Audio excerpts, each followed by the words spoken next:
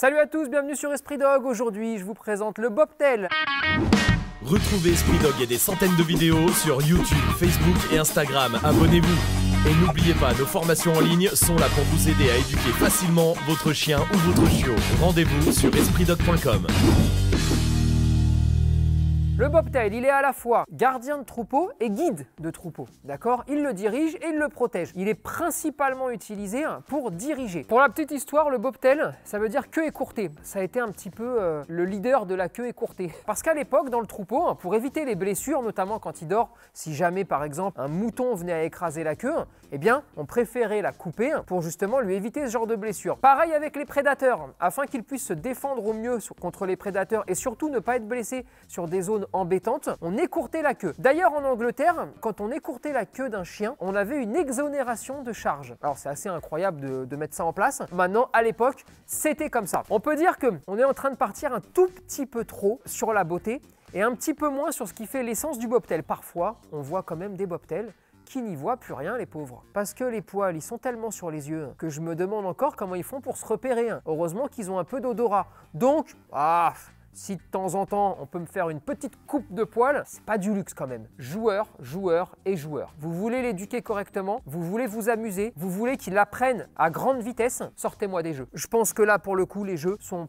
sans doute plus forts même que les gâteaux. Vous avez un berger molosse. Il est un berger, mais on a aussi tout le côté très joueur, très enjoué, très allez vas-y viens on y va. Ça envoie, hein c'est un peu une brute. Hein Donc il va falloir aussi des maîtres qui sont capables déjà de jouer, d'avoir envie, d'avoir aussi un pot de colle, d'avoir un chien qui sollicite euh, beaucoup pour partir en activité. Vous avez un chien qui est endurant, vous avez un chien qui peut faire du sport, vous avez un chien qui est quand même très couteau suisse, hein, très à l'aise dans beaucoup de choses. Vous avez aussi un chien qui a un sous-poil, et ce sous-poil, c'est un peu comme un parapluie. Et c'est pour ça qu'il était aussi... Euh, un peu la vedette du monde rural pendant des années, hein, parce qu'il pouvait rester dehors sous la pluie, avec des intempéries, avec des températures compliquées, hein, sans que ça pose aucun problème. Niveau entretien, les bobtails d'il y a 50 ans, entretien minimum, ça se passait très bien, mais on va bien reconnaître quand même qu'il euh, y en avait quelques-uns dans des états, tu avais l'impression de voir des 4x4 qui venaient de faire un rallye, tu vois, dans la montagne. Aujourd'hui, on les entretient beaucoup plus, c'est aussi sans doute plus joli à voir, en tout cas plus soyeux au niveau du poil. Et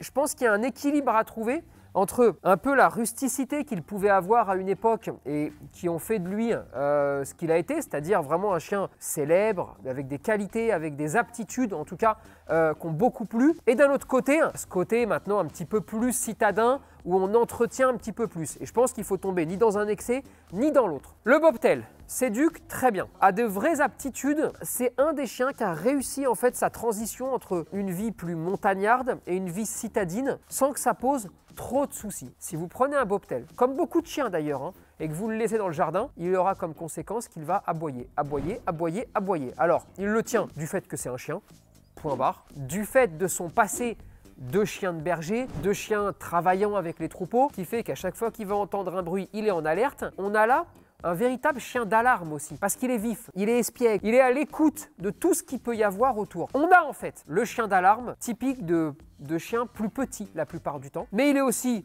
le chien qui peut garder, le chien qui peut y aller, le chien qui peut tout ça. Comme à chaque fois, plus vous avez de qualité, plus vous pouvez aussi avoir quelques inconvénients si jamais vous faites les choses mal. Dans les choses à pas faire, d'accord? Il y a surtout ne pas le socialiser très tôt. C'est un chien qui est grand, c'est un chien qui aime jouer. C'est un chien qui n'a pas de soucis avec ses congénères, si tant est que vous lui en présentez de petits et que vous lui présentez un panel suffisamment large de congénères. Pourquoi? Il est joueur, il est costaud, il est endurant, il ne faut pas qu'il devienne relou et il est aussi très courageux. Et comme tous les chiens très courageux, ah, des fois, ils peuvent avoir un petit excès de zèle. Si vous vous y prenez bien des petits, vous n'aurez aucun souci. Mais c'est vraiment important d'arriver à s'y prendre comme ça. Quand vous avez des gens qui viennent chez vous, quand vous entendez du bruit dehors, quand vous avez le facteur, moi, ce que je peux vous encourager à faire quand il est petit, c'est ouvrir la porte et le laisser aller dire bonjour. Parce que j'ai envie d'agrandir son territoire naturellement afin qu'il commence pas eh, à gueuler un petit peu trop et je laisse pas rentrer ou euh, ah, je suis un peu cabochard. Si vous voulez éviter ça, on ouvre la porte, salut, ça va, pas d'obéissance, rien du tout, c'est le bordel. Il y va, il saute pour dire bonjour, on lui fait la fête, ça va mon gros pépère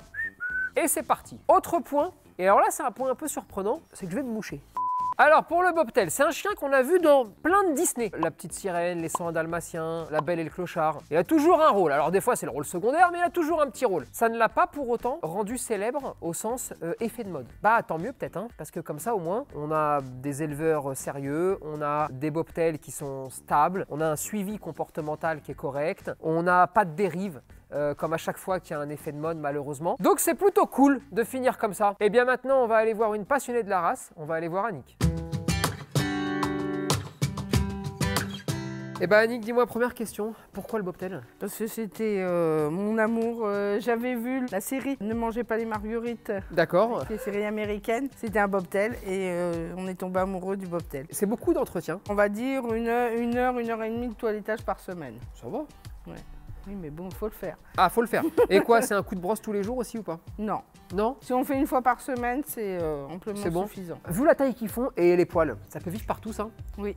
Mais attends, eh, si tu viens en appart avec ça là, regarde-moi ça. Oui, mais ça perd pas son poil. Donc ça veut dire, du moment qu'on l'entretient, ça perd pas plus ses poils qu'un autre chien. Oui. En fait, hein, Et ça. même hein. ils sont plus heureux en appartement parce que le maître le sort beaucoup plus. Très bien. Le jardin, c'est peut-être son pire ennemi parce que c'est là où il va apprendre à aboyer tout le temps. S'il y reste trop souvent. Trop souvent. Trop souvent, je dis bien. hein. Sans promenade, sans rien. Voilà, en bon chien de, de troupeau, hein, comme il a été. Tu le mets Yeah. dans le jardin, ah, Ben, il s'ennuie. il Il s'ennuie parce que personne joue avec lui, personne. euh, Et alors là, ça aboie, et ça aboie. ça aboie. Il aboie pas parce qu'il est aboyeur, Mhm. il aboie parce qu'il s'ennuie. Voilà, Crevé en fait hein, dans le Mm. jardin. C'est des chiens qui sont faciles à vivre. oui. C'est des pots de colle, très pots de colle. C'est des bergers, Oui. euh, mais qui ont un peu le tempérament de molosse. Tu sais, euh, très pot de colle, très collé. Pas de problème avec, euh, avec les chiens. C'est vrai que c'est quelque chose qui se dit beaucoup. Mm. Tu penses que c'est lié à quoi? L'éducation. Problème d'éducation dès le départ Ben oui, problème de sociabilisation. hein. Si tu devais leur trouver trois qualités, ce serait quoi toi? Bah, la, la gentillesse, euh, la douceur, et puis son clown. Ça joue beaucoup aussi. hein. Ouais. Très très joueur. hein. C'est très joueur. Et c'est très demandeur de jeu aussi. Hein. Toi, tu conseilles ce chien-là à quel type de famille? Avec des enfants, ils adorent les enfants. Ouais. Adorent les enfants. Et puis la présence des gens. hein. Des gens qui bossent, euh, qui sont pas là 8 heures par jour parce qu'ils ont ils travaillent quoi. C'est possible ou pas? Oui. Ouais, Sans problème sans problème. Ce qu'il faut, c'est leur apprendre au fur et à mesure Voilà. et, euh, et surtout Dès- les dès le balader, départ, j'imagine. hein. les balader. Faire une grande balade. Une fois qu'ils ont, ils ont bien couru, après ils sont, ils bougent pas. Il n'y a plus de soucis. Ça bouge moins qu'un petit chien. hein. C'est très joueur avec les autres chiens. Ouais. Qu'est-ce qu'ils disent les gens de toi dans la rue quand ils te croisent? Ils en ont peur. C'est vrai? Le problème, les gens connaissent pas la race. Ils te posent des questions, ils ont envie d'approcher ou ils se disent oh non non c'est Oui. le bordel. euh. Bah, c'est une- ils cherchent les yeux. Et euh, niveau santé, Il n'y a pas de souci de santé. il n'y a pas de souci, c'est très solide? Ouais, c'est solide. Euh, en vieillissant, c'est euh, problème cérébral, les AVC. Et ça, ça peut pas s'éviter euh, avec des tests? Aujourd'hui, il n'y a pas de test. Euh, Moi, ils ont tous les tests hein, génétiques. hein. Il y a la MDR1, HA, le IC. MDR1, c'est ce qui pose le Problème avec les médicaments. Ouais, c'est ça, certains. ça. Notamment hein, des vermifuges Ouais. ou. euh, Parce que c'est la- le bobtail est fait de la famille du collet. c'est ça. Donc tout ce qui est famille du collet a des problèmes de- au niveau des médicaments. Donc ça là-dessus, il faut faire attention quand même. Ouais. C'est beaucoup touché par la dysplasie euh, hanche-coude, un petit comme peu. tous les grands chiens. Comme tous les grands chiens. Le problème, c'est que les gens, quand ils sont bébés, ils les font courir et ils les font sauter. Comme tout grand chien, c'est abîme les, Oui. Les articulations. les articulations. Comment t'expliques qu'il n'y en a pas beaucoup aujourd'hui? Il y a que 200 naissances par an et le problème, c'est le toilettage. Tu penses que ça c'est le frein euh, C'est le frein au. Ouais. Mais pourtant il y a plein de chiens qu'on toilette. Ils ont énormément de sous-poils qu'il faut enlever. Si on n'enlève pas, ça fait tout de suite des paquets Ok. et après, c'est plus toilettable. C'est une race qui n'est pas connue. Tous ceux qui achètent un bobtail ont connu le bobtail. C'est bizarre, tu sais, il y a beaucoup de films, des Disney notamment, Mm. et pourtant ça n'a pas réussi à le rendre célèbre. Non. Contrairement à d'autres races où euh, ça a explosé. Lui, pas tant que ça. hein. Non, non. Et il y en a quand même qui veulent des bobtails et qui ont conscience que ça a été ou c'est un chien de travail qui a travaillé Non. ou non, c'est fini, c'est complètement, c'est terminé Ouais, ça. hein. c'est du chien de compagnie maintenant. Le club de race voudrait que ce soit plus connu, ça. Il travaille pour, euh, pour que ce soit plus connu ou ou non, non, non, non, il ne travaille pas. Il ne travaille pas tout court. Oui, bon, bah, bon, c'est un classique, ça, c'est pas grave. Voilà, Euh. Dans toutes les races. hein. Oui, oui, oui. Si toi, tu voulais faire passer un message aux gens sur ce chien-là, ce serait quoi? C'est des amours de chiens et que c'est dommage que c'est pas assez connu parce que c'est des, des chiens très, très très bien pour les enfants. C'est aussi des chiens qui sont multifonctions, c'est-à-dire que c'est des vrais sportifs aussi. Hein. Ouais. Ils sont capables de faire euh, quasiment tout, en fait. Mm. hein. Dès que tu es dispo pour partir un peu à l'aventure, Ah oui, euh, Toujours content d'être avec son maître. ils font du sport, les tiens. Ils se baladent tous les jours déjà. Ouais. Ça nage bien. Ça Je vois nage quand je vois tous les poils. Lui, il va à l'eau, il a un gilet de lest. hein, euh, Non, non. Non, non. ça coule direct. Non, non, ça nage très ouais, bien. ça nage très bien. très, très bien. Il mange beaucoup. Alors moi, les miens, ils mangent, euh, les femelles mangent euh, 200 grammes de croquettes par jour et les mâles de, entre 350 et 400. Par jour Ouais. C'est rien 200 grammes par jour. Et ça pèse combien alors Un- Dis-moi un mâle grosso modo. Un, ma- un mâle entre 40, une quarantaine de kilos et une femelle euh, entre 30 et 32 kilos. Ça apprend facilement euh, à être propre par exemple à la maison. Oui. ça va relativement vite. Ah oui, oui. Il y a des idées reçues sur la race. Il y a eu, à un moment donné, il y a eu euh, de la consanguinité. hein. Il y a un travail qui est fait de la part des éleveurs là-dessus. Ils essayent, mais bon, quand il y a un champion qui est en expo, ils se jettent tous sur le champion. Ok, sauf que là, comme il n'y a pas beaucoup de spécimens, Voilà. tu te retrouves avec des consanguins. euh, C'est autorisé ça encore? Normalement, non, mais Et personne regarde ça? Genre, euh, c'est pour ça que la canine a fait de l'ADN. C'est obligatoire. ok, super. Tu penses que c'est une bonne chose? Oui. Ça va dans le bon sens en tout Ouais. cas? Eh ben écoute, je vais te laisser le mot de la fin. N'en prenez pas. Si, il faut en prendre. c'est des amours, c'est euh, Tu penses qu'il mérite d'être plus connu plus connu. Eh ben écoute, euh, merci beaucoup. Ah bah de rien. Et puis à une prochaine. Ouais.